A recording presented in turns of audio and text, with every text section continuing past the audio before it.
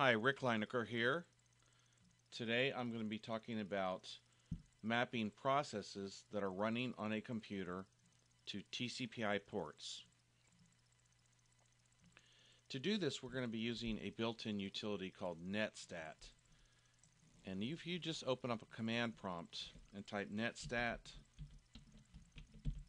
slash question mark, it will show you all the various command line switches you have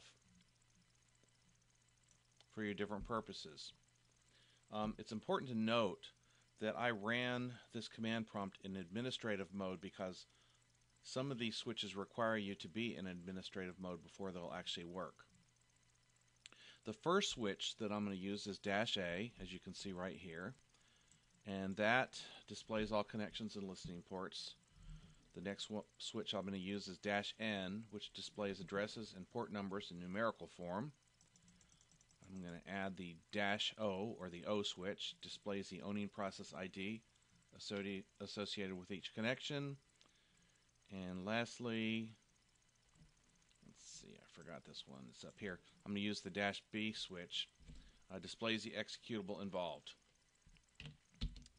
Okay, let me clear the screen here. Netstat dash ANOB. Run that, and as you can see, it pulls up a lot of information. So now I have to kind of scroll up and look through this. Let me just kind of take a look at all the processes that are running. Hmm. Some of them look pretty normal. Things you might expect. Ooh. There is one right here called Badass Program. And if you see something like that, automatically you got to be suspicious. It's running on port 9876, um, connected to a computer at 192.168.1.103. And based on that information, you can actually track down not only this computer that's connecting to it, but you can track it down to the computer that's being connected to.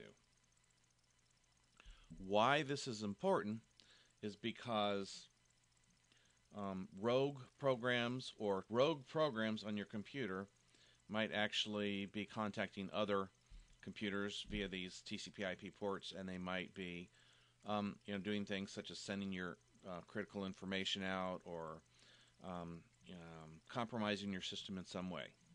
So that's how you do it. That's what it's for, and that's why you do it.